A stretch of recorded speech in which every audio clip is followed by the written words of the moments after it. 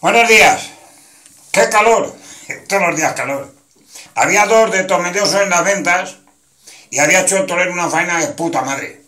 Y dice uno, que le den la vuelta al ruedo. Y dicen los de tomelloso, ¡eso! ¿Habéis ido a la sombra de nosotros también un poquitejo? Cosa que pasa.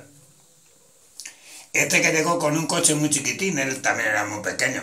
De estos que, vamos, que nada, en mi casa había tirado mi padre. Y dice, al favor, le dice a la gasolina, le pone un cuarto litro de gasolina, un taponcillo de aceite le echas y le pones tres gotas de agua al radiador. Dice, claro, y te inflo las ruedas de un, con un pedo, ¿verdad, hermoso? Tira a tomar por el culo de aquí, eso. Le dijo, vaya, no pasó nada.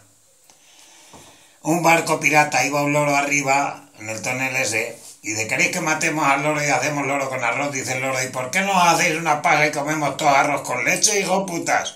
Eso le dijo, hay que defenderse este que se casó con la más puta del pueblo y la noche de bodas vivían un primero, hicieron los chicos, ya mocetes, una torre humana, para lo dicen, el de arriba que diga todo lo que van haciendo, madre mía.